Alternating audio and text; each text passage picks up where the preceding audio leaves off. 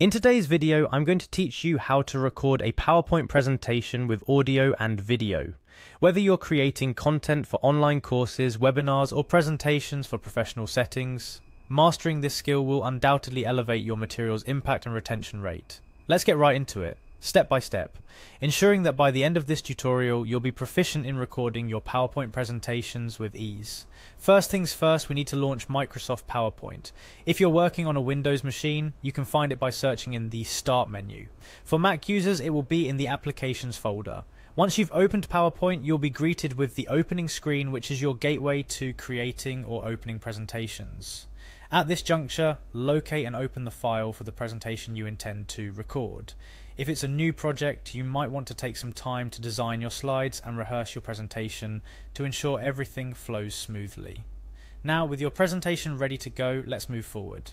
Next, you're going to want to navigate to the Insert tab located at the top of your window. This tab houses an array of options that allow you to add different elements to your slides, making PowerPoint a powerful tool for creating interactive and visually appealing presentations. Once you're in the Insert tab, look for the screen recording option.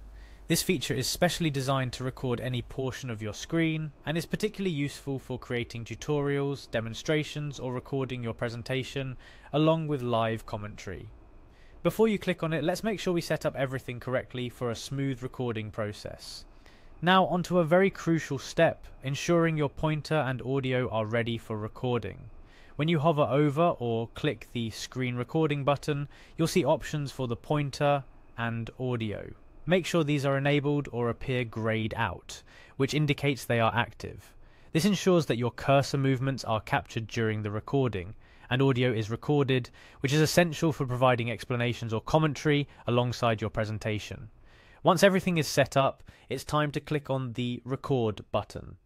Before you start, envision the flow of your presentation and any key points you want to emphasize.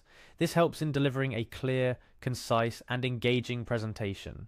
The screen will dim momentarily and a recording toolbar will appear, indicating that everything you do on screen is being recorded, from slide transitions to cursor movements and, of course, audio from your microphone. At this point, you might be wondering, how do I stop the recording? Well, it's quite straightforward. All you need to do is press Shift plus Windows key plus Q if you're using a Windows computer. This simple key combination stops the recording, ensuring you have control over when your presentation recording begins and ends. It's discreet and doesn't interfere with the flow of your presentation.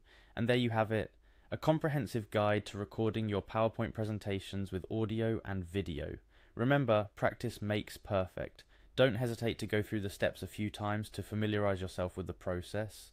With each attempt, you'll find yourself getting more comfortable and efficient, eventually turning this into a seamless part of your presentation creation process.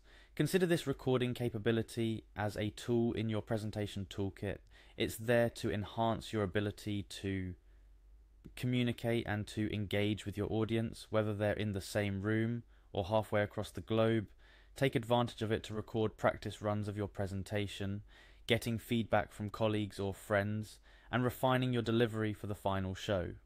The potential applications are vast, from creating asynchronous training modules to crafting personalized messages or conducting detailed walkthroughs of complex processes. In closing, PowerPoint's screen recording feature with audio is a bridge between the traditional static presentations of the past and the dynamic, interactive learning experiences we strive for today. Embrace it, experiment with it, and watch as your presentations transform into immersive experiences that captivate and educate. Thank you for joining me in today's tutorial. Keep exploring, and until next time, happy presenting.